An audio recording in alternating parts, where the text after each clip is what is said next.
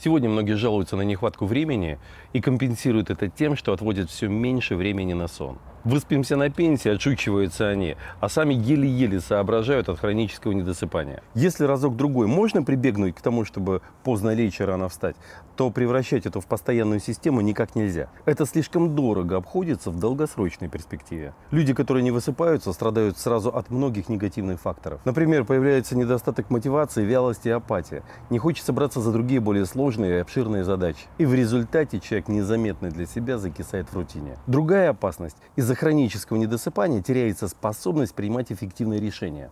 В состоянии хронической усталости нет сил все качественно оценить, взвесить и продумать. Снижается практически до нуля изобретательность, которая так необходима вам для того, чтобы найти наилучший результат. Не только мысли, но и эмоции выходят из-под контроля. Появляется упрямство, потому что уже нет сил свернуть с выбранной дороги, даже если она ведет в тупик. Уставший человек становится раздражительным и нетерпеливым. Представляете, как это сказывается на общении с людьми. Итак, вы все еще собираетесь искать дополнительные часы? Тогда лучше обратите внимание на действительно правильное решение. Вам нужно научиться расставлять приоритеты. Не нужно успевать делать все. Надо делать только то, что необходимо для вашего успеха. И делать это надо с максимальной концентрацией. Пока не завершили одну задачу, не приступайте к другой. И приучите себя к тому, чтобы все делать на совесть с первого раза. Так вам не придется снова тратить время на то, чтобы исправить недостатки. И еще одно очень важное. Не нужно перекладывать на завтра то, что можно сделать сегодня.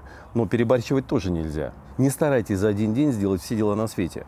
Много плохо сделанных дел не приведут вас к успеху. Важно хорошо делать каждое дело, за которое вы беретесь, или нет смысла делать его совсем. Чем больше вы стараетесь переделать дел за короткое время, тем больше у вас ошибок.